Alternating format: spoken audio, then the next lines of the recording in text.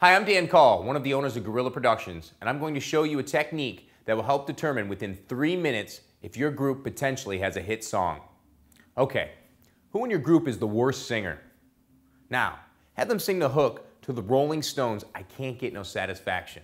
This usually takes a little coaxing. Now, I found that no matter how bad someone sings, they can usually recognize hooks to radio friendly songs. Now, ask them to sing a few notes to whichever song your band agrees is your radio hit. Now, I found that no matter how bad someone sings, they can usually recognize hooks to the radio friendly songs. If your drummer or your bass player in your band doesn't know the hook or even the words of the chorus, then it's not a hit. That doesn't mean it's not a good song. It might even be a great song.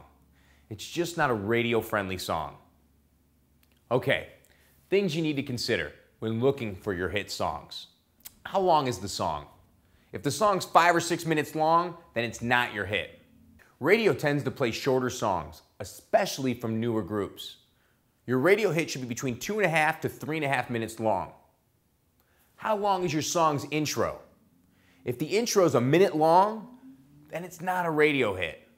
For radio songs, your intro should be about five seconds long, and the hook should be in the beginning and at the end of the song to make it more memorable.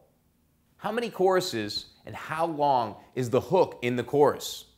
If the chorus repeats only once and has 12 words in it, and your drummer doesn't know half of those words, then it's not your hit song. If you have more verse than chorus, it's also not your hit song. Hit songs are about hooks and only hooks. The hook needs to be the most prominent part of the song, both in melody and dynamically. So hit songs need to be about three minutes long with a repetitive short hook, and most importantly, they need to have meaning. I'm Dan Call, wishing your group the very best.